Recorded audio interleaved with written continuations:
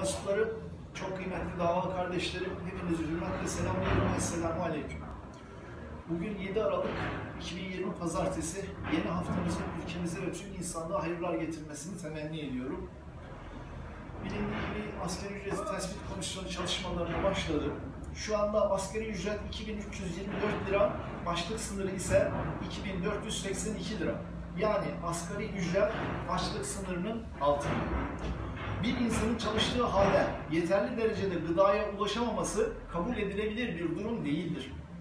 Şu anda yapılması gereken ilk ve en kolay yollardan bir tanesi asgari ücret üzerindeki vergilerin kaldırılmasıdır. O zaman asgari ücret 3000 liraya yaklaşır. Ama bu yeterli olmaz. Çalışan bir insan hangi işte çalışırsa çalışsın kendi geçimini rahatlıkla sağlayabilmelidir. Geçiminden sonra diğer ihtiyaçlarını da karşılayabilmelidir. İşte bu da yoksulluk sınırı olarak ifade ediliyor. Yoksulluk sınırı ne kadar? 8085 lira. Dolayısıyla askeri ücrette hedef açlık sınırı değil, yoksulluk sınırı olmalıdır. Bu söylediğimizin bir anda gerçekleşmesi elbette mümkün değil. Ancak hedef bu olmalıdır. Enflasyondan sonra %6-7 gibi bir zam yapılırsa 10-15 yılda bu rakama ulaşılır. Kaynaklar doğru yatırımlarda kullanılmadığı için bu hedef hayal gibi görünüyor. Böyle bir hedef olmadan asgari ücreti belirlemek çalışana zulümdür diye düşünüyoruz. Şimdi asgari ücrete yapılacak zamla 1-2 ay bir rahatlama olsa bile 2 ay sonra yine açlık sınırının altına inecektir.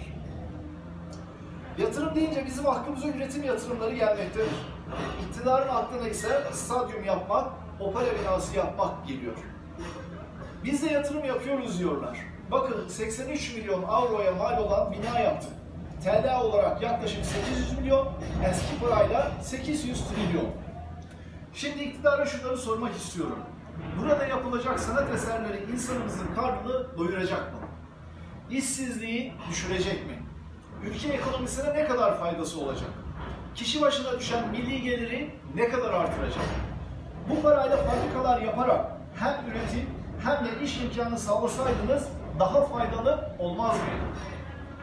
Birçok insanımızın sıkıntıda olduğu bu dönemde bu parayı insanımıza dağıtsaydınız olmaz mıydı? Dış ülkelere yardım yapmakla övünen ve bu yardımları devam ettireceğini dile getiren iktidar kendi vatandaşına sabır tavsiye ediyor.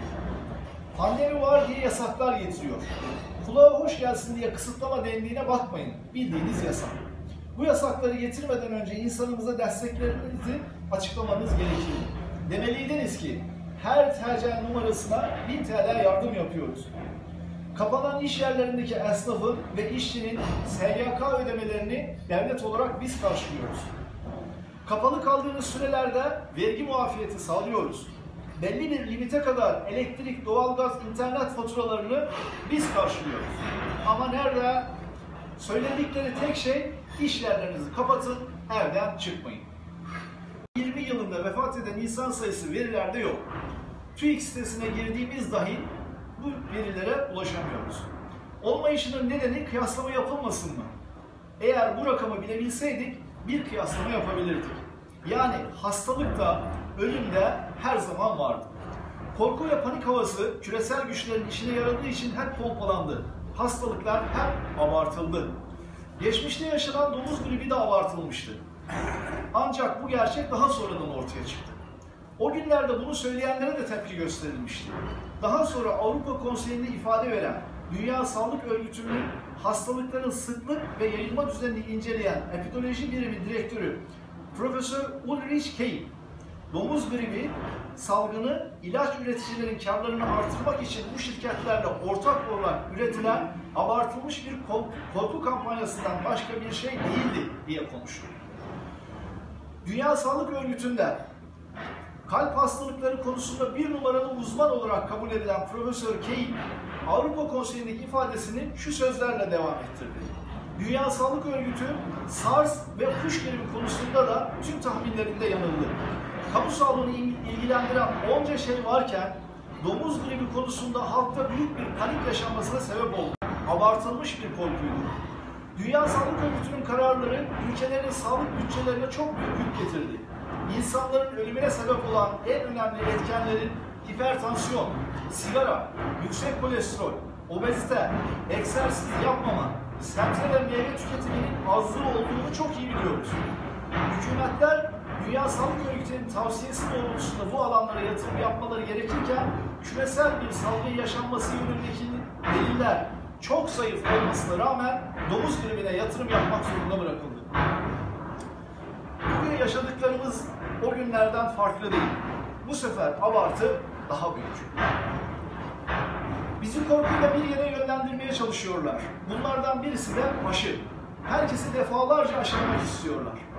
Önümüzdeki hafta Çin'den gelen aşıların yapılacağı açıklandı. Yetkililerin şu sorulara cevap vermesini istiyorum. Çin'de hayatın büyük oranda normale döndüğü bildiriliyor.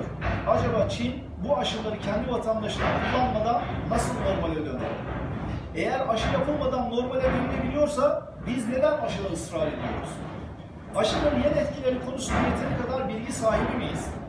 Aşı üreticileri Avrupa Konseyi'nden yan etkileri için muafiyet istemişler. Muafiyet istendi mi?